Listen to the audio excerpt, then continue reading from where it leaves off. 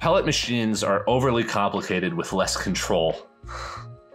They work fine for large format where you're just moving a bunch of material, but the reason for that is because the pellets are small relative to the amount of material being deposited. And it's basically the pellets appear to be high resolution compared to how big the part is.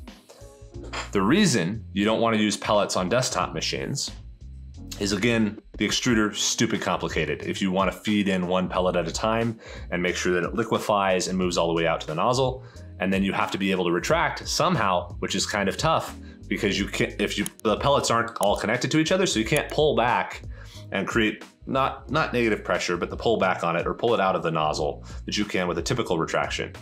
Uh, you can stop the flow and move really fast, so pellets could work a little bit better.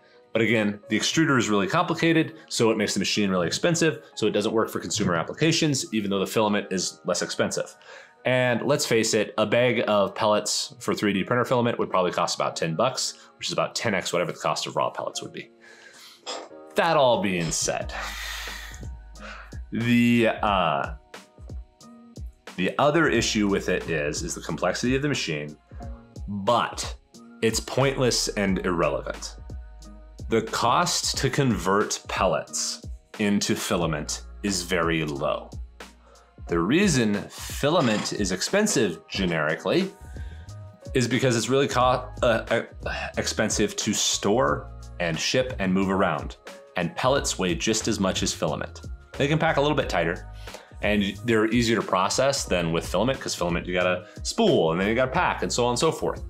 But the, the additional steps in the process of converting pellets into filament, which is a higher precision raw material, is trivial.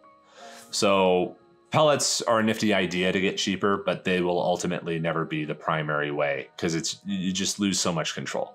Also, by the way, in like a factory, uh, pellets are messy. You can't transfer them around. They're not very controllable. They're not very packageable. Like there's just logistical problems with pellets.